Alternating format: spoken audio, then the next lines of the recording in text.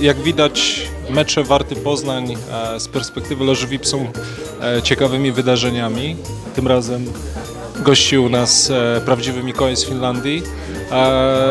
No i staramy się organizować spotkania dla naszych partnerów, dla sponsorów, dla, dla sympatyków klubu w taki sposób, żeby było nieszablonowo, żeby było oryginalnie O tym spotkaniu to nie ja córce przypominałem, tylko ona mi więc e, oprócz piłkarskich emocji mamy dzisiaj jeszcze szczególne emocje dla dzieci.